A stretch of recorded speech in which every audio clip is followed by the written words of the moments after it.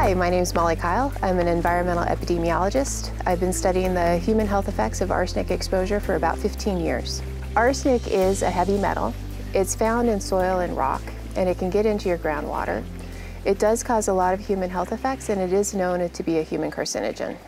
Arsenic's found in soil and rocks, and some parts of Oregon have more of it in the soil and the rocks than other places. So that's why some areas, particularly out in eastern Oregon, as well as some places out in western Oregon, have more arsenic in the water than other places. Arsenic doesn't have any odor, doesn't have any taste, and you can't see it, so you don't really know it's there unless you test for it.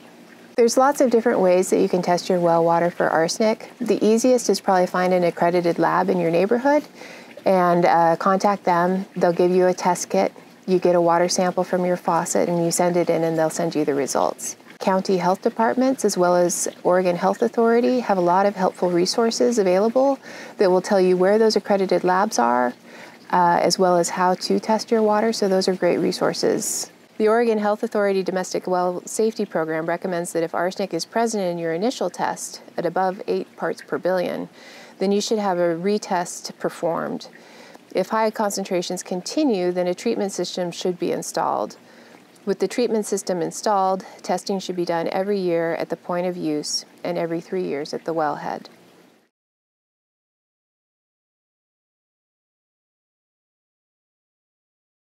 If your well contains kind of 10 parts per billion or above, which is the level that if you were on a public water system would start to get regulated, I would recommend that you start to look at alternative water sources, be that bottled water or a treatment system, both for you and your pets.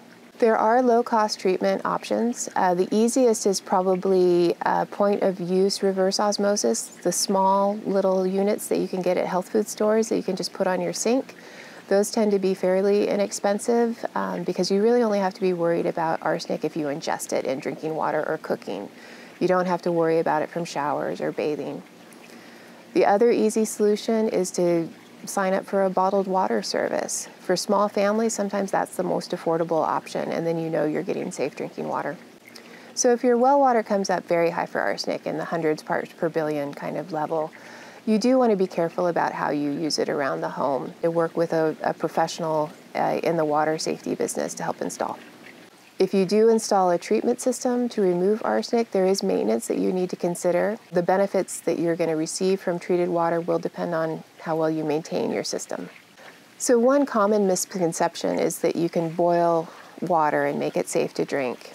That's not true for arsenic. It actually ends up concentrating the metal in the water and leads to a higher dose. So, don't boil your water to remove arsenic.